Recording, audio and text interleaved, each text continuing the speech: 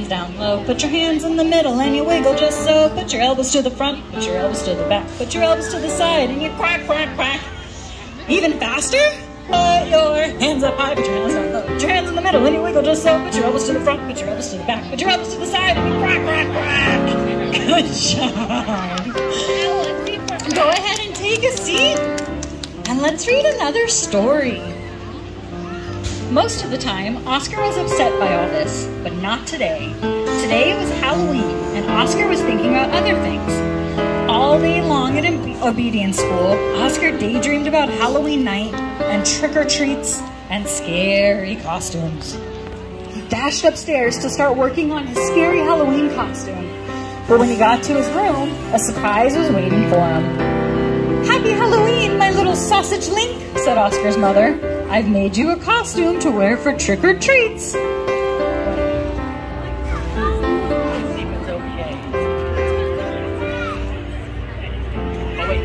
It didn't break. It didn't break. Nope.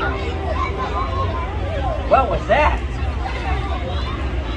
It seemed like it was floating up there.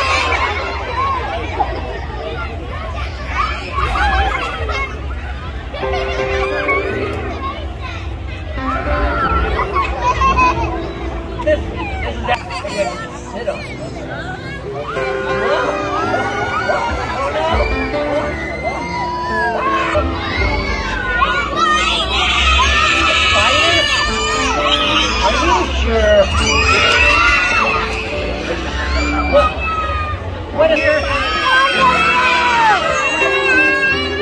What, the spider's up there now?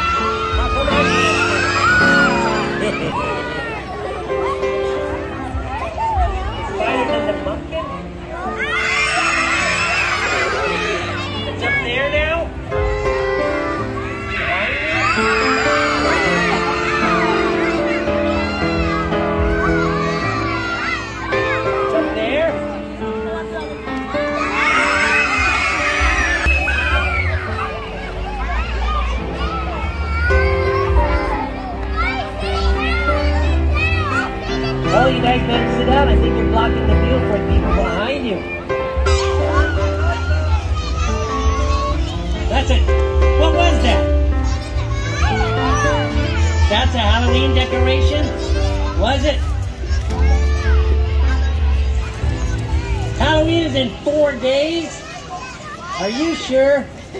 Well, Chester, what's going on?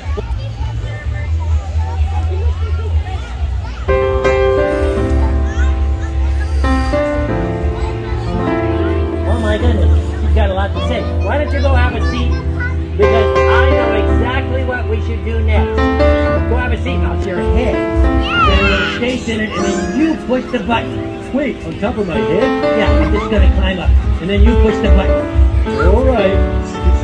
Oh, it's very slippery up here. There's nothing to hold on to. Never mind that. Can you, can you push the button? Alright, I see the button. I'm gonna push it.